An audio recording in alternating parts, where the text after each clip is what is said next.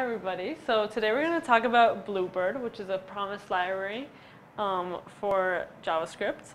And we're going to go over a few functions that you might not be as familiar with, or if you are familiar with them, you might not be using them yet. And I want you to use them. So we're first going to talk about promisify. Then we're going to talk about promisify all, bind, all, spread, and join. And that is all the promises we're going to discuss today. So I promise we won't go over that.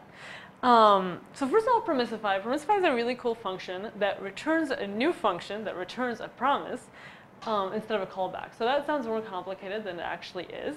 So basically what it means is if you're dealing with a function that you need to give a callback to, you can instead create yourself a promisified version of it and use that. Um, and this is really great because it lets you avoid callback hell. So if you want to chain a bunch of them, you can just chain them using dot .then, and you don't need to constantly get deeper and deeper into callbacks.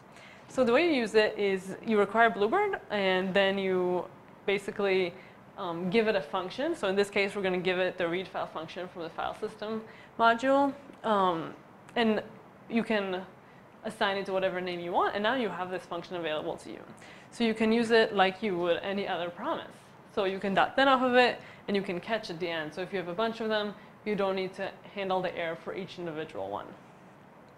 An even cooler one is promisify all, because promisify all lets you do this, but with a whole entire library. Um, so for every function that exists in this library, let's say the file system, you're going to have whatever the name is, async, right? So instead of having some function, you're going to have some function async. So here, um, promisifying all of the file system module, and then I can use read file async again. And this is really great because if you're using a library that doesn't have promises, but you are using promises in your code, which you should because it's easier, you don't have to manually every time promisify each promise or each function.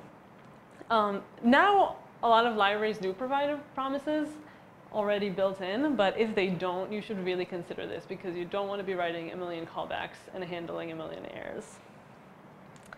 Next is promise.bind. Now this is really similar to the regular bind that we use in JavaScript, but it creates a promise that is bound to this.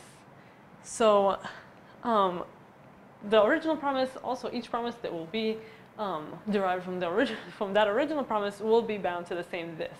And this is really great because in promises, because you're dot then in and you're kind of losing context eventually, you're often going to find yourself, if you're trying to use the this keyword, going to find yourself with a lot of undefineds and like defaulting to the window and all sorts of stuff like that.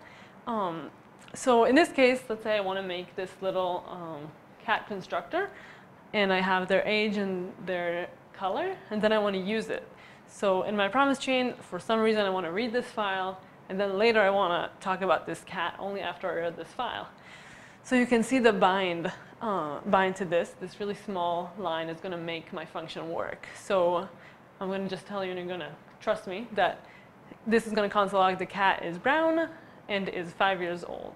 But if I remove that, bind this after the promise that read file async, it will just say the cat is undefined and is undefined years old.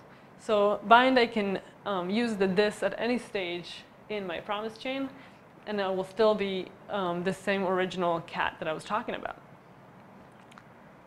And promise.all is also a really cool method if you're using a lot of promises, you can find yourself um, having a hard time with the async issue.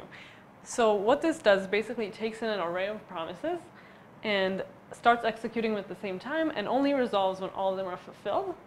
So if you need a certain number of promises to return before you can move on, this is really, really great. And you can use it with dot .spread, which basically lets you um, return all these promises and then in order use them. So even if I don't know which promise will take longer to resolve, I can be sure that with spread they'll be returned in the same order. So if I called find items first, then um, items will come back first. So I can use them and I can call them items. And a really similar function is promise.join. It's really similar to promise.all, but instead of taking um, an array of promises, it takes just the promises themselves. So this is really good if you have um, a set number of promises and you already know, not like an array that you keep pushing into or you're not really sure how many you might end up with. but you have a set number of like two, three, I don't know, maybe five, whatever you want. Um, a set number of promises, you can just put them in there. You don't need to put them in an array. And it's supposed to be more performant than that .all, and it can just be more simple. So here I join all these promises, and again, they'll shoot off in the same time. And I pass here a callback function, which might seem a little weird with a promise library, but basically the last function can be whatever I want to do once all these return. But you can also use that .spread if you want to use that on join. Um, and a little comparison of what it, they look like.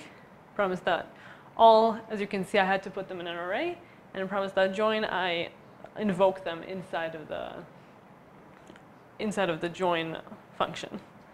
And that is it for Bluebird. Thank you.